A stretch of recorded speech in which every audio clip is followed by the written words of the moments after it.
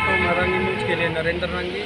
दोस्तों, अभी जो धनाना गाँव में भारत गैस की एजेंसी थी, उस भाई ने जो किसान थे, उन किसानों की मांग के ऊपर गाँव धनाना का जो न्यू बस स्टैंड है, उसके ऊपर अपना एक ऑफ़िस बनाया है और ऑफ़िस के साथ साथ उसने एक मुहिम भी छेड़ दी है कि आज के बाद किसान किसी भी तरह की चाहे वो फैक्ट्री हो चाहे कोई ऑफ़िस हो उसका उद्घाटन जो करवाएँगे वो किसानों के हाथों से ही होगा क्योंकि उन किसानों का कहना है कि राजनेताओं के बगैर हम अपने भाईचारे के साथ जो उद्घाटन करवाएँगे वो ज़्यादा बेहतर है और आज इस एजेंसी के जो ऑफ़िस का उद्घाटन है वो माननीय अजीत ने और रामपाल। रामपाल जी ने इन्होंने किया और किसानों के साथ जो इन्होंने उद्घाटन करवा है, हम भाई का बार बार धन्यवाद करते हैं।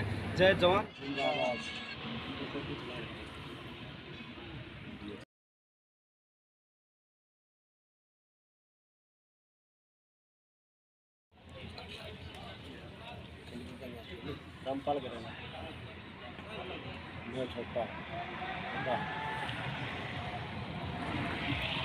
किसान एकता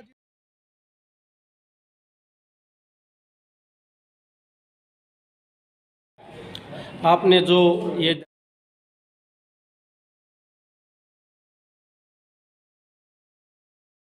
आज जो धनाना गाँव में गैस एजेंसी है, जो भारत के नाम से, उसका जो ऑफ़िस धनाना के नए बस स्टैंड पर खोला गया है, उसका क्या प्रपोजल और क्या उपभोक्ताओं को मतलब आप सुविधा दो?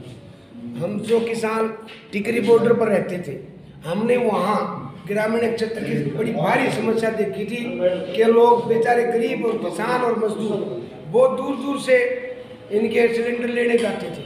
क्यों? क्योंकि सरकार की तरफ़ से और वैसे भी होनी भी दूर से एजेंसी गाँव से दो तीन किलोमीटर दूर होती है। हमारी गैस एजेंसी पर हम कल शाम को गए थे। वे गाँव को जो है ना आप डोर डिलीवरी की सुविधा दीजिए, एक सामाजिक काम है और आप तकलीफ़ में हमारी मुहिम को कामयाबी इस भाई ने इस भाई ने कल कहा था कि अंकल जी, मैं ये किसानों की मांग 24 घंटे के अंदर आज इसने नए बस स्टैंड पर ये दुकान खोल करके और इतना बड़ा कार्य किया है एक सामाजिक कार्य सेवा का, इसको हम बहुत बहुत धन्यवाद देते हैं। इसने यहाँ दफ्तर खोल करके कहा है कि केवल रजिस्ट्रेशन यहाँ कापी चढ़ाओ और जो भी जिम्मेदार किसान, मजदूर यहाँ कापी चढ़ाएगा, मैं उसकी हर सिलेंडर की डोर डिलीवरी दूँगा, वो खर्चा मैं अपने धोरे से बहन करूँगा। ये मुहिम की हम इसको तो शाबाशी दे रहे हैं। इसके साथ साथ हम एक दरखास्त कर रहे हैं पूरे हरियाणा और भारत के उन एजेंसी वालों को कि भाइयों समाज सेवा करनी है तो इस तरह इस भाई की तरह करो और हर गाँव में ये सुविधा दो, जिससे कि मजदूर और किसान साइकिलों पर, सिर पर बेचारी माताएँ और बहनें दो दो किलोमीटर दूर से लेने जाती हैं, वो सुविधा मिल सके।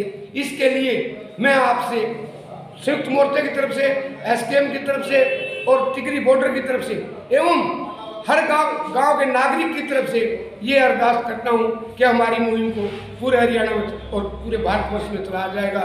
जय किसान जय प्यारा हिंदुस्तान।